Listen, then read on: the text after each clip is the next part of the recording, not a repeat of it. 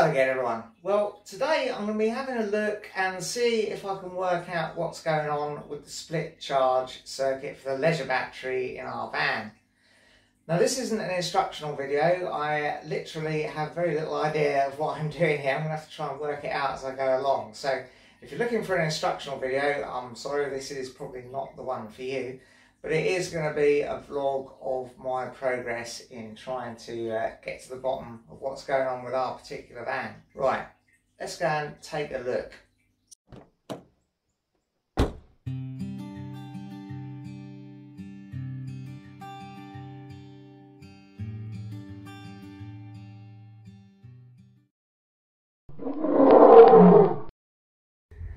Now, when we bought the van, there was no leisure battery in the van at all. There was just the vehicle battery. It wasn't this one, it was a much smaller one. I've had to uh, replace that.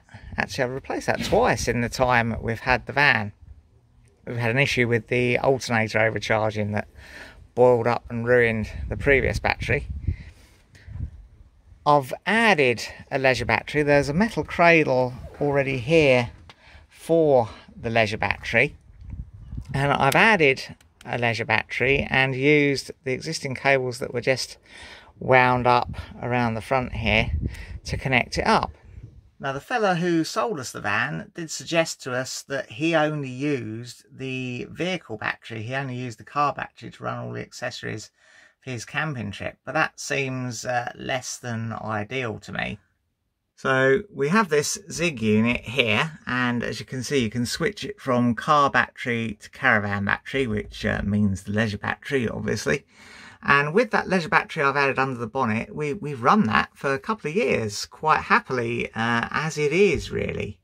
But the issue is it doesn't appear to charge either when we're on electric hookup or as we're driving along off the alternator in the van over the course of a camping trip it does get steadily flatter. Now of course there's not a great deal in the van that does run off the battery really. There's um, the lights of course and the pump which uh, pumps and pressurizes the water tank and the aux which only really appears to do the electronics on the Carver water heater as far as I can make out. It doesn't seem to be uh, connected to the fridge. The fridge seems to work regardless of whether that aux switch is on or off. Now the fridge you can't really run on the leisure battery. As soon as you switch that over to leisure battery the low battery warning light comes on on the ZIG unit even if the battery is fully charged.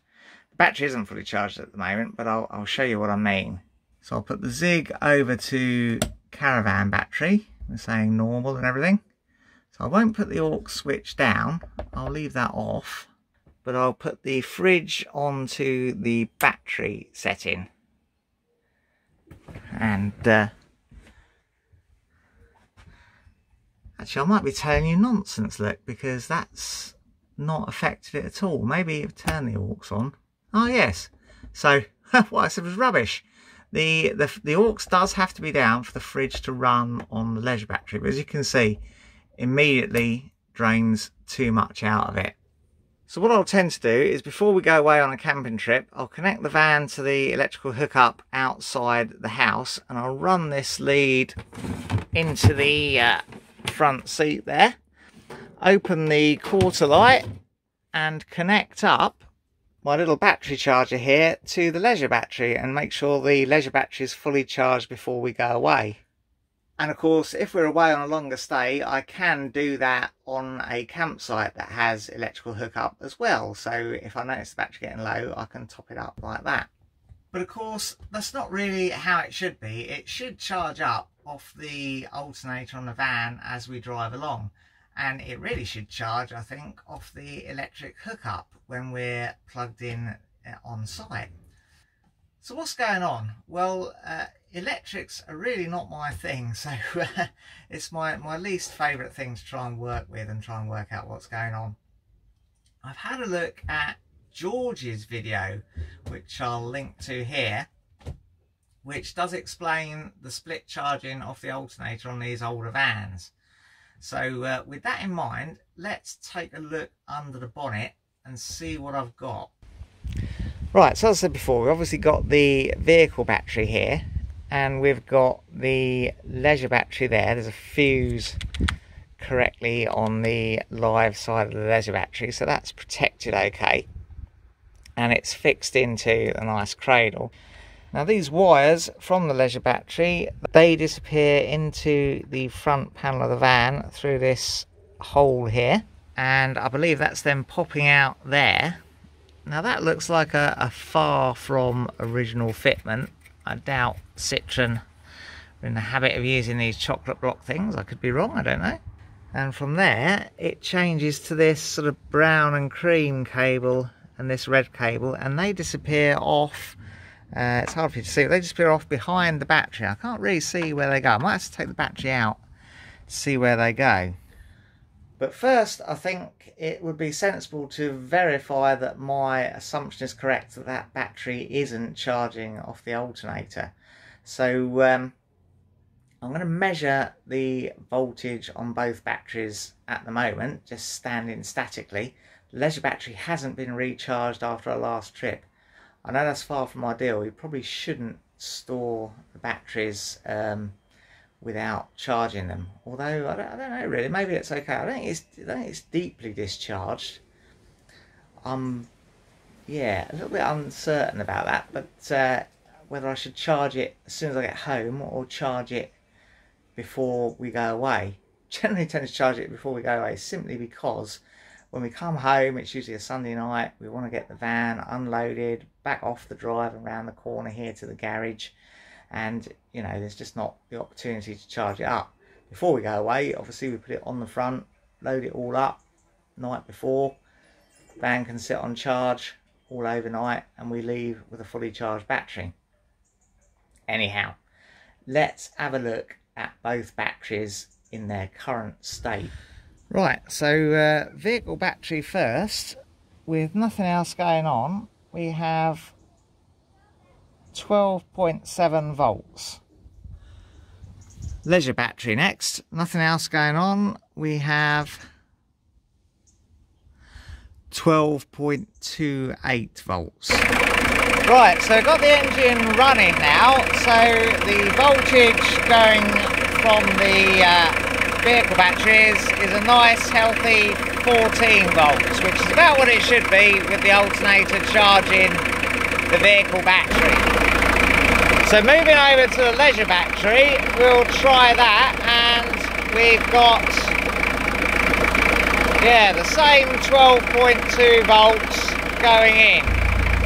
Now it does occur to me, looking at uh, George's video, I wonder whether we have to have the ZIG unit switched over to caravan battery for it to charge perhaps. So let's leave that switched over and see if our battery is charging now.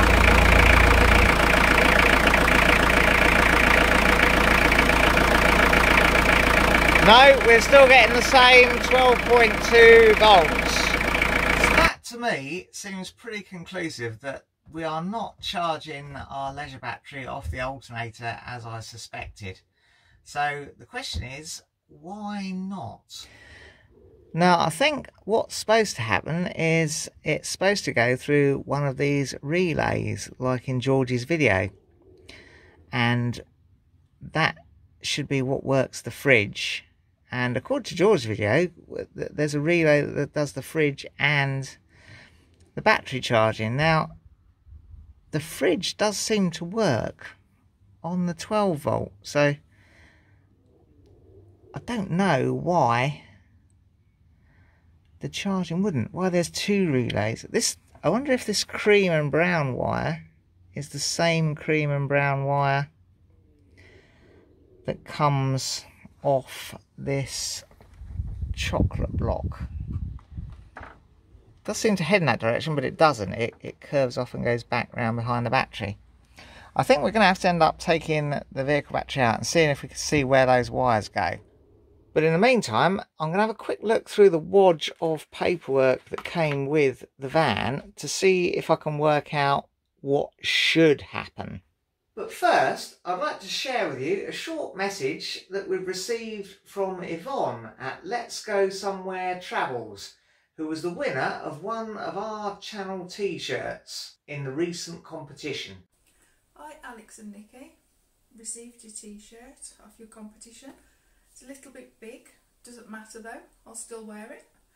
Thank you for the sticker as well. So yeah, if you haven't already checked out their channel, then pop over there and take a look. There's heaps of good stuff on there. I'll put a link in the description below.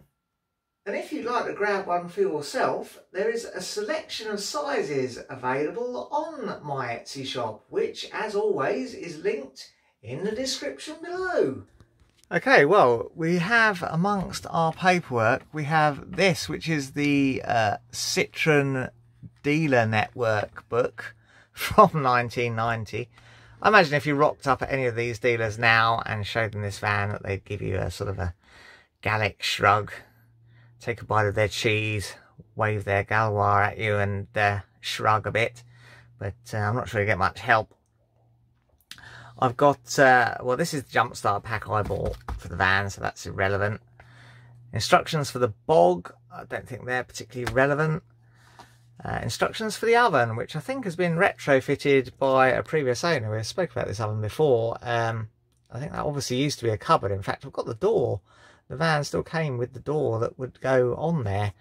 Um, but we love having the oven. Anyway, that's uh, not relevant to this, is it? So let's uh, put that to one side. This is the um, the sort of aftermarket handbook thing. I've got a digital copy of this as well. It's it's okay. It's not great. It's okay, but uh, it doesn't really help us with our current problem. This is the paperwork that came with the water pump I bought so that's not relevant either and this is the base vehicle maintenance guide so again that's not particularly handy for us but what I have got is the Elddis Touring Caravan and Motorhome Owners Handbook. And in here we have the relevant section, description of caravan systems. So we have the internal power supply. And it says, with the exception of the Wisp Elddis caravans are equipped with provision for a caravan battery and distribution system. The main features of the system are full automatic electronic charging. But it says, with the exception of the Wisp Elddis caravans. And if you look at the diagram, you've got control panel for the XL GTX and Crusader, which I think are caravan models, and a control panel for the Wisp. Now that looks like our control panel. Yep, that looks very much like our control panel, does it not? So I think what that's telling us is that our van is the exception and hasn't got full automatic electronic charging control. I think. Now it does say an internal power supply wiring diagram is included on the model specification sheet supplied with this handbook, which of course haven't got. Now interestingly we also have this section further on which says looking after your Elddis motorhome and it describes motorhome electrics. It says your Elddis motorhome is fitted with a converter charger unit. For full information about the system and how to operate it, please refer to the manufacturer's instructions supplied. Hmm. And of course it also says some Elddis motorhomes are fitted with an auxiliary battery which is automatically charged when the engine is running or when coupled to a 240 volt mains supply. So I suppose the question is, did our van come with a leisure battery or not? That wiring does look a little bit homemade, doesn't it? As if somebody's added that afterwards. Maybe they added that cradle afterwards as well. But then again, the control panel has a switch for leisure battery, full for caravan battery, so I, I don't really know. Also got this interesting um, paragraph. Some models of Elddis Motorhome provide the facility internal wiring terminating in a positive and negative cable to install a battery of your choice, which can be fitted in the bottom of the wardrobe. Hmm.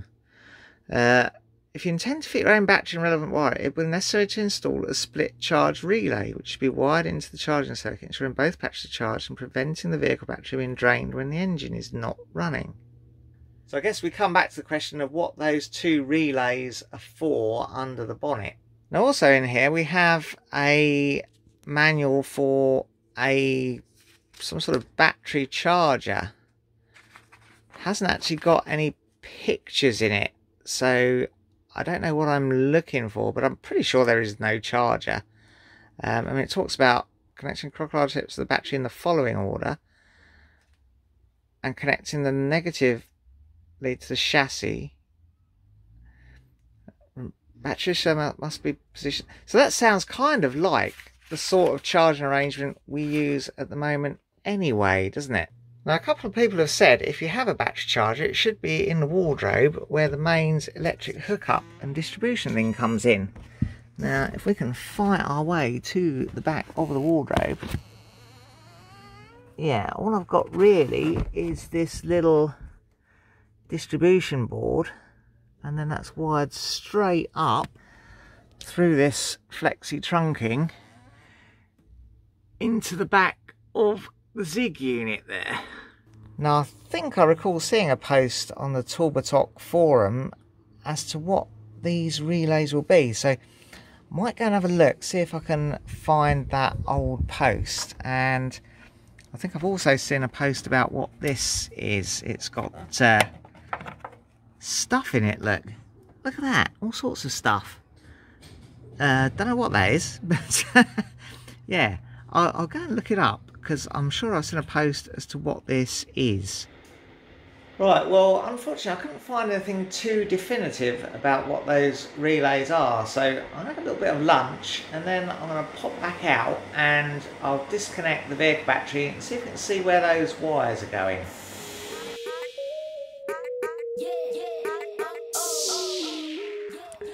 Right, well with that battery out of the way, it is a little bit clearer. We've got, uh, coming out of this side of that chocolate block, we've got this brown and cream wire. We've also got a red and blue wire. Now the brown and cream one does, as we said before, disappear off and it goes into this sort of multiple connector, which is a basically an earth, really, isn't it? That That's earthing onto this earthing point here which again is where the main earth for the vehicle battery goes. And we've then got uh, the other side of our chocolate, like this red and blue. Well, the red disappears off and uh, goes, where does that go? That goes off into this bit of tubing which disappears way. And uh, I'm guessing that's going off underneath the vehicle. So that's going probably back to the Zig unit I would say.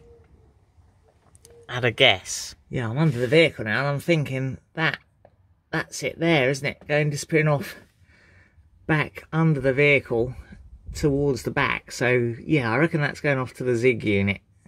Now the other wire is this blue and brown wire. And that goes off down into this tube which whirls its way around and goes up to well it goes to both relays really doesn't it? So that I think would be this wire coming out here going to this first relay.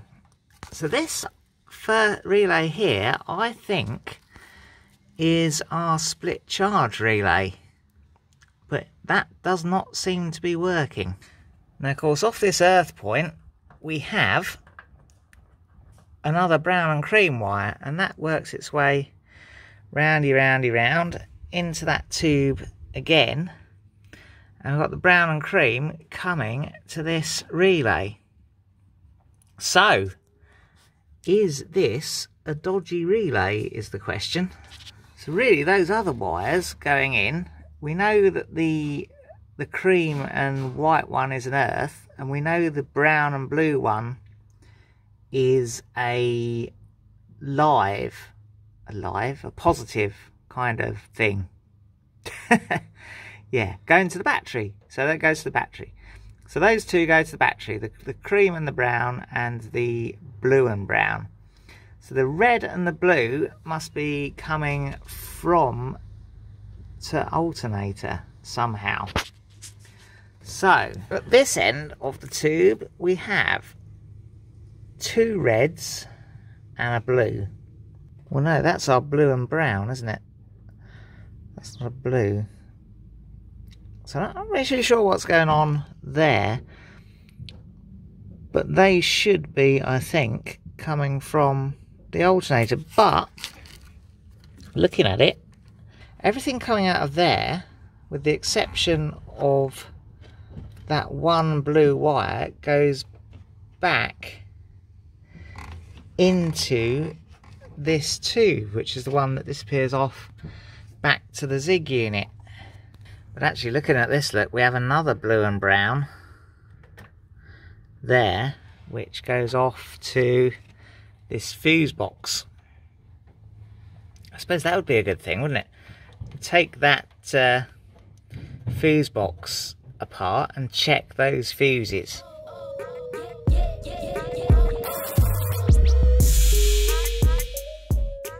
Well, that's interesting. We do have a blown fuse. This uh, 15 amp fuse is blown, so I wonder if that could be our problem. wonder if I've got a, a new one anywhere. well, would you believe that we've got everything but 15. We've got a couple of 30s there. And I've got a pack with 3, 5, 7.5 and 10. So I'm going to have to pop out and get some 15s.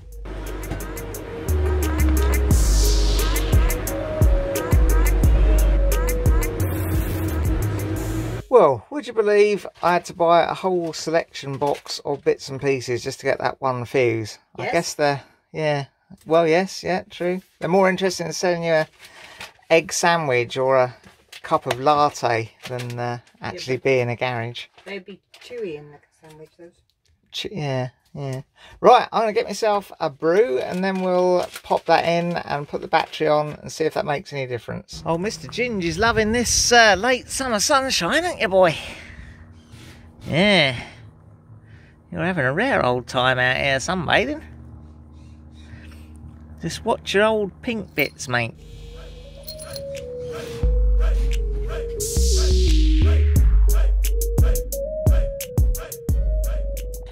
Right, so well we've now got that fuse replaced in that fuse box there. The battery's back in. Let's start her up and see if we get a charging voltage on this leisure battery.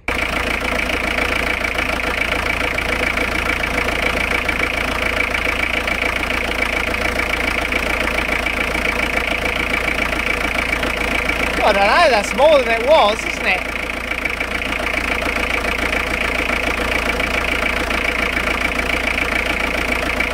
got 12.99 with the engine on. 13 now.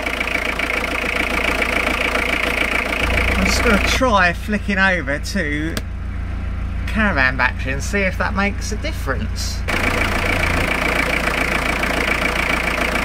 13 point, 13 point what's going up slightly all the time. Uh, I think that might have been the problem, you know. Let's turn the engine off, see what the voltage is with the engine off. Right, so yeah, back to 12.7 again.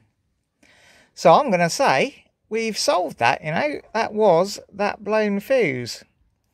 And that's probably always been blown since we bought the van. And I've just been too lazy to sort it out. Splendid.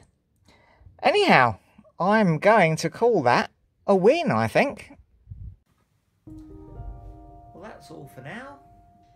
If you enjoyed it, press like. Subscribe if you want to see some more. And ring the bell to be notified when we upload something new. Thank you